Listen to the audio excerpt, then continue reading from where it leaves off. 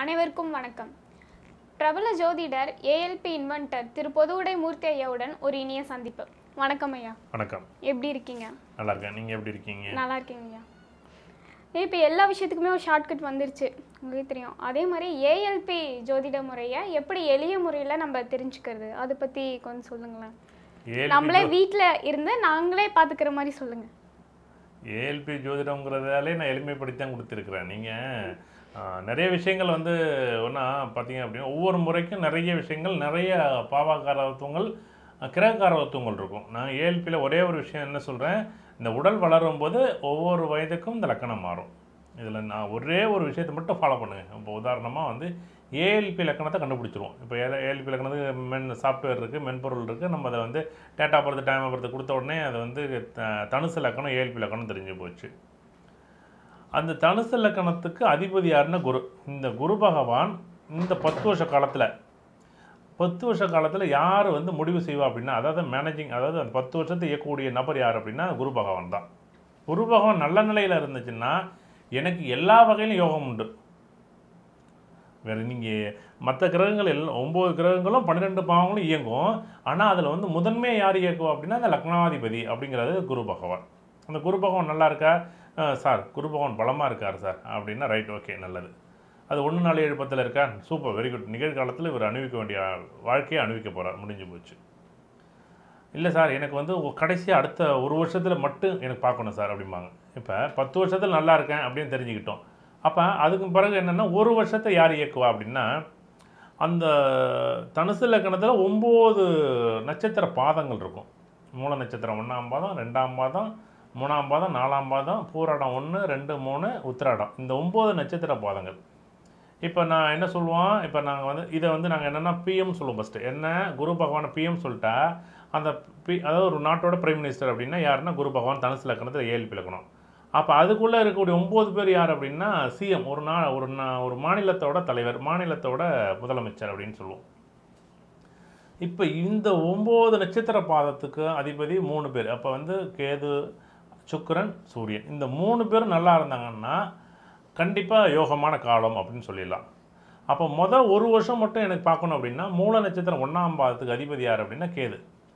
அந்த மூல நட்சத்திரத்தை அதிபதி கேது நல்லா இருக்கார்? அவ்வளோ கான்செப்ட் கேது பலமாக இருந்து ஒன்று நாலு எழுபத்தில் இருந்தாருன்னா நிகழ்காலத்தில் அவர் என்ன சாரத்தில் இருக்கோ அது நல்லது கெட்டதுன்னு முடிவு பண்ணிக்கலாம். அதாவது அவரோட தன்மைகளுக்கு ஏற்ப.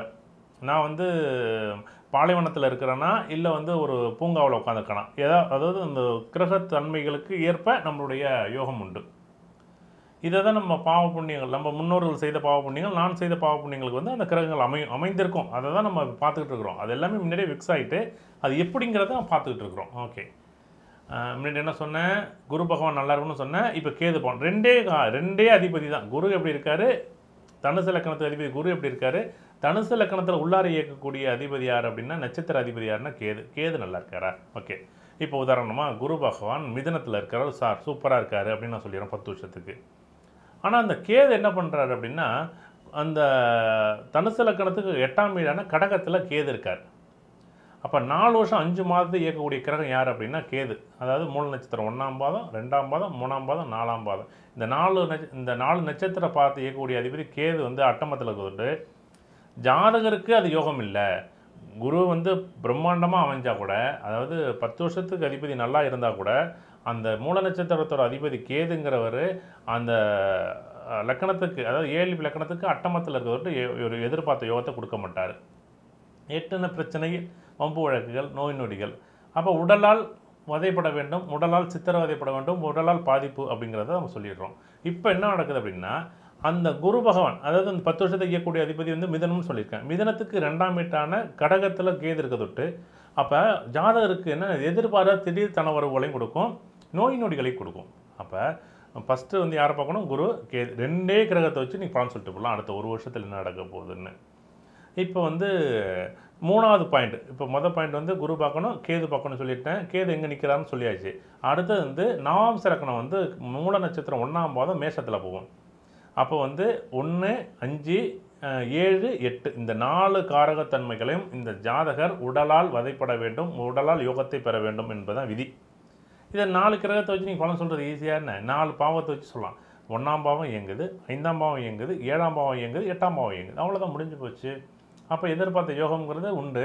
ஆனால் இந்த காலகட்டங்கள் தடைப்பட்ட காலகட்டங்களாக இருக்குது ஐந்து எட்டு. அப்போ ஐந்து எட்டுன்னா சித்த பிரம்மை. அப்போ மனம் சம்பந்தப்பட்ட விஷயங்கள் உடலால் நோய்வாய்ப்பட வேண்டும் உடலால் வதைப்பட வேண்டும் என்பது தான் இந்த ஜாதகரோட நிலை. இது விரும்பினாலும் சரி விரும்பலனாலும் சரி இருந்தால் இந்த ஜாதகருக்கு இதுதான் விதி. இதை மாற்றவே முடியாது. நம்ம மாற்றணும் சார் இதை எப்படியாச்சும் மாற்றணும் அப்படின்னு சொல்லி இப்போ வந்து கேது வந்து தனுசு சாரி கடகத்தில் இருக்குது அப்படின்னு சொல்லியாச்சு.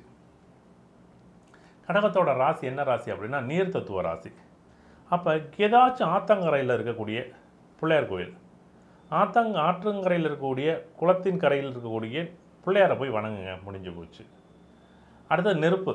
நெருப்பு ராசிங்கிறது என்ன அப்படின்னா மேஷம்.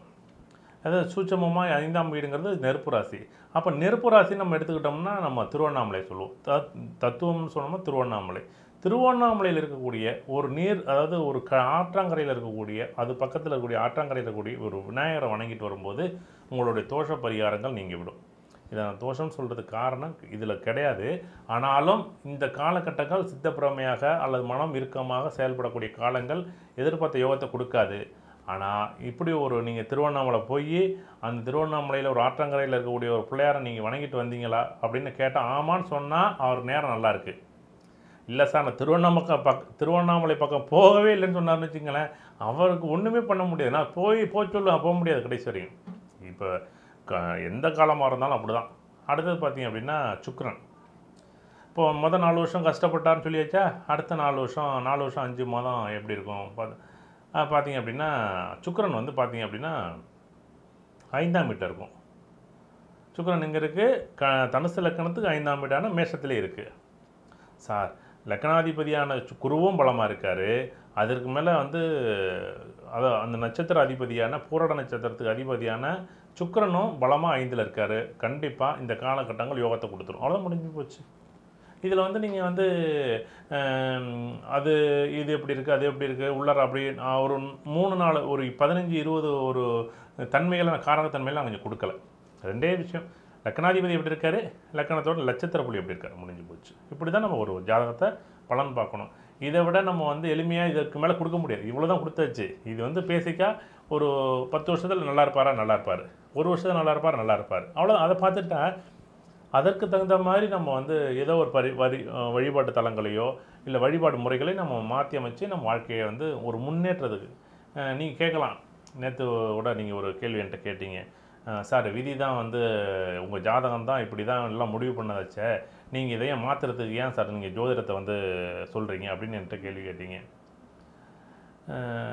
அப்படி தான் தெரிஞ்சு போச்சு. இல்லை ஏன் ஜோதிடம் நம்ம கடவுள் நமக்கு ஏன் கொடுத்தாரு? ஜோதிடத்தை நம்ம கொடுக்காமலே இருக்கலாமே. அப்போ சூட்சமமாக இதுக்குள்ளே ஒரு வழி இருக்குடா. இதை யாரெல்லாம் பின்பற்றுறீங்களோ இதெல்லாம் யாரெல்லாம் உங்களுக்கு நல்லது நடக்கணுமோ யாரெல்லாம் உங்களுக்கு இதை வந்து பலமாக அதாவது எந்த ஒரு எதிர்பார்ப்பும் இல்லாமல் நீங்கள் பிடிச்சிக்கிறீங்களோ இந்த ஜோதிடத்தின் மூலமாக ஒரு வாழ்க்கை நிலையை ஒரு இக்- ஒரு ஒரு சந்தோஷமான வாழ்க்கை முறையை மாற்றி அமைத்து கொண்டு வாழ்க்கையை வாழ்வதற்கு வாழ்க்கையை வந்து ஒரு அடுத்த கட்ட பரிணாமத்துக்கு கொண்டு போகிறதுக்கு தான் இந்த ஜோதிடம். உடனே எனக்கு வந்து அரசியலில் நான் பெரிய யோகத்தை வந்துடும் யோகம் வந்துடும் அது தெரிஞ்சுக்கலாம்.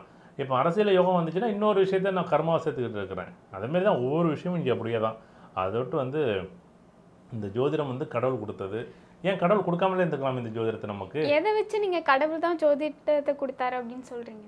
எப்படி கஷ்டத்தை எப்படி நீங்கள் கொடுத்தாருன்னு சொல்றீங்களா? கடவுள் கொடுத்தாருன்னு சொல்றீங்களா? கஷ்டம் அது விதி.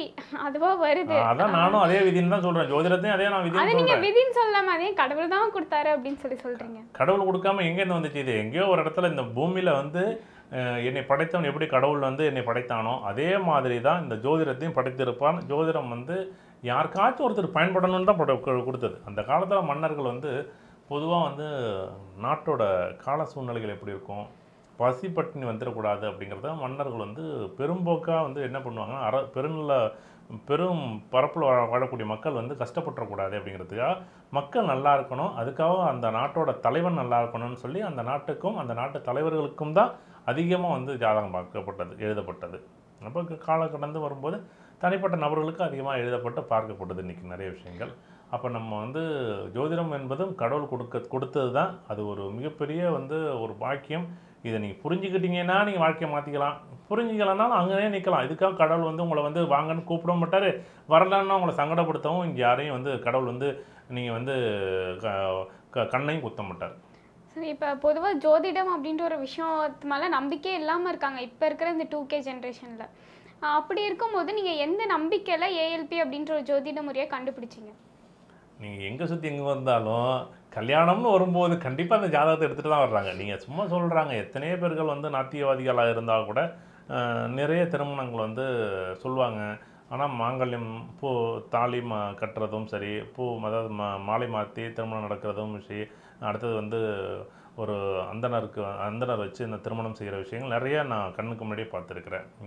நாத்தியவாதின்னு பேசலாம். நீங்கள் வந்து ரெண்டாயிரம் வந்து ரெண்டாயிரத்துக்கு பிறகு உங்களுக்கு பிறக்கக்கூடிய குழந்தைகளுக்கு வந்து இந்த மாதிரி எண்ணம் இல்லை அப்படின்னா அவங்களுக்கு இன்னும் ஒரு பத்து வருஷம் கழிச்சு பார்த்தா அவங்களும் ஒரு முப்பது வயசு வரும்போது அவங்களும் இந்த ஜோதிடத்தில் வந்து ஆர்வம் வந்துடும் இப்போ பார்த்தீங்கன்னா எனக்கு தெரிஞ்ச நிறைய நண்பர்கள் வந்து சின்ன பசங்க எனக்கு தெரிஞ்ச ஒரு சின்ன பையன் திருநெல்வேலி பக்கத்தில் வந்து என்கிட்ட ஜாதா பக்கம் வந்திருந்தாங்க. அந்த பையன் வந்து ஒரு எனக்கு வந்து ஒரு நாலு அஞ்சு வயசு தான் இருக்கும்னு நினைக்கிறேன் அந்த பையனுக்கு. அந்த பையனை பார்க்கும்போது எனக்கு எனக்கு இன்றைக்கி வரைக்கும் அந்த பையன் கண்ணுக்குள்ளே நிற்கிறான் அந்த பையன் என்ன பண்ணுறான் அவங்க அப்பா அம்மா ஜாதகம் பார்த்துட்டு இருக்காங்க. எல்லாம் பார்த்தீங்கன்னா விளையாண்டுக்கிட்டே இருக்கிறான். பக்கத்தில் உட்காந்து அந்த ஆஃபீஸில் ஆனால் அவனோட பேரை சொல்லி அவனுக்கு ஜாதகம் எப்படி இருக்குன்னு கேட்குறாங்க அவன் என்ன பண்ணுறான் நேராக ஒடியாந்து கிட்ட நின்றுட்டு நான் எப்படி இருக்கேன்? என் ஜாதகம் எப்படி இருக்கு? அதாவது நான் எப்படி இருப்பான்? அப்படின்னு கேட்டான் பாருங்க. எனக்கு ஆச்சரியம் போச்சு. என்னடா இது? இவ்வளோ நேரம் நீ விளையாண்டுக்கிட்டு தானடா இருந்தா? இந்த அஞ்சு வயசு குழந்தைங்க நீ வந்து எனக்கு அவன் க- அதான் சொல்கிறேனே எனக்கு கடவுள் வந்து பாருங்கள் அந்த ஜோதிடத்து மேலே இவ்வளோ எனக்கு அந்த ஒரு பற்றுதல்ங்கிறது வந்து ஒவ்வொரு டைம் வந்து எனக்கு ஆச்சரியத்தை ஏற்படுத்தும். இந்த எனக்கு எல்லாருக்கும் இருக்கிறாங்க. நிறைய பேர் கூட இருந்தவங்க அத்தனை பேரையும் கேட்டு பார்க்கலாம் நீங்கள் அந்த பையன் எனக்கு ஆச்சரியமான ஒரு நிகழ்வு. என்னன்னா அந்த பையனுக்கு ஜாதகம்லாம் என்னென்னு தெரியாது. கிரகங்கள் என்னென்னு தெரியாது. அந்த நட்சத்திரம் தெரியாது. எப்படின்னு தெரியாது. அவங்க அவனை எதார்த்தம் கூப்பிட்டு வந்திருக்காங்க. அந்த பையன் தூக்கிட்டு வந்திருக்காங்க. சின்ன பையன். கேட்குறான் எனக்கு எப்படி இருக்கு அங்கிள் அப்படிங்கும்போது எனக்கு ஆச்சரியமாக இருந்துச்சு. ஆகா இவ்வளோ அதாவது நீங்கள் சொல்கிறீங்க எல்லாருக்குள்ளேயும் என்னை எதிர்காலத்தை பற்றி அறிந்து கொள்ளக்கூடிய ஒரே ஒரு காலக்கணிதம்னா ஜோதிடம் தான். நீங்கள் அந்த ஜோதிடத்தை வந்து அவ்வளோ நேசிங்க. அப்படி இல்லை அப்படின்னா என்றைக்காக இருந்தாலும் இந்த ஒரு நாள் வந்து அந்த ஜோதிடத்தை நீங்கள் எடுத்து பிரட்டும் போது உங்கள் வாழ்க்கை வந்து மாறும். நல்ல விஷயங்களுக்காக அந்த காலத்தில் பார்த்த காலம் பார்த்திங்கன்னா கல்யாணத்துக்கு பார்ப்பாங்க. வீடு கட்டுறது பார்ப்பாங்க. அதுக்கு மட்டும் பார்த்துக்கிட்டு அப்படியே மூடி வச்சிருங்க. எதுக்கு எடுத்தாலும் தொட்ட தொண்ணூறுக்கும் எடுத்துக்கிட்டு இது நடந்துருமா அது நடந்துமா டெய்லி பார்த்தீங்கன்னா இப்போ எல்லாருக்கும் லக்கணம் தெரியும் ராசி தெரியும் தசாபதி தெரியும் எல்லாருமே ஜோசியர் ஆகிட்டாங்க பா முக்கால்வாசி பேர் பார்த்தீங்கன்னா ஜோசியர் தான். ம். அந்த காலம் மாரி ஏமாத்தாலும் முடியாது. நீங்கள் எங்கேயாச்சும் ஏதாச்சும் ஒன்று சார் எனக்கு சுக்கர தசையில் குரு புத்தி சார். என்னையாது இப்போ ராகு அந்தரம் சார் ஐயோ என்னையாது அப்படின்னா தசா பொத்தி அந்தரம் வரைக்கும் தெரிஞ்சு வச்சுக்கிட்டு இத்தனாம் தேதி மாறுதுன்னு சொல்லுவாங்க பாருங்கள் அதுதான் ஆச்சரியமாக இருக்கும் எனக்கு. நீங்கள் யா உங்களுக்கு வேணால் தெரியாமல் இருக்கலாம் எனக்கு தெரிஞ்சு. எல்லா பசங்களும் அதுவும் பார்த்தீங்கன்னா ஒரு நாளைக்கு சர்ச் பண்ணி பார்க்குறாங்க அந்த காதல் திருமணம் எந்த ராசி நடக்கும்? இல்லை காதல் திருமணம் நடக்குமா நடக்காதான்னு செக் பண்ணுறதே அதிகமாக கூகுளில் சர்ச் பண்ணுறாங்க அப்போ நீங்கள் பாருங்களேன் யார் பார்க்கலன்னு சொல்கிறீங்க நீங்கள் ஜோதிடம் வந்து அளவு கடந்த நம்பிக்கை மக்கள் மேலே இருக்குது ஆனால் கண்டிப்பாக வந்து சின்ன சின்ன விஷயங்களுக்காக பிரட்ட வேண்டாம். அதாவது ஜாதக நோட்டை ஒதுக்கிட்டு இது வந்து நல்லதாக கெட்டதான்னு முடிவு பண்ண வேண்டாம். உங்களுடைய மனம் ஏதாச்சும் ரொம்ப முடியாத கட்டத்துக்கு என்னால் வந்து இந்த ஒரு இக்கட்டான சூழ்நிலையில் இருக்கிறோம் அப்படிங்கிற ஒரு சூழ்நிலைக்கு வந்துச்சுன்னா பக்கத்தில் இருக்கிற உங்கள் வீட்டுக்கு பக்கத்தில் ஒரு ஜோசியர் இருப்பார். அவர்கிட்ட போய் இந்த ஜாதகத்தை காமிச்சு நீங்கள் சொல்லும்போது கண்டிப்பாக ஒரு மாற்றம் வரும். ஏன் அப்படின்னா நெடுந்தூரத்தில் உள்ள ஜோசியை நம்ம போய் பார்க்குறோம் அப்படின்னா காலங்காலத்து மறுபடியும் மறுபடியும் அவங்கள போய் பார்க்க முடியாது. ஏதோ ஒரு சந்தர்ப்ப சூழ்நிலை யார் பக்கத்தில் இருக்காங்களோ அவங்கள்ட்ட போய் பார்த்தா ஒரு சந்தோஷம் உண்டு. நல்ல விஷயமா சொல்லுவார். கண்டிப்பாக நல்லதே இருக்கும்.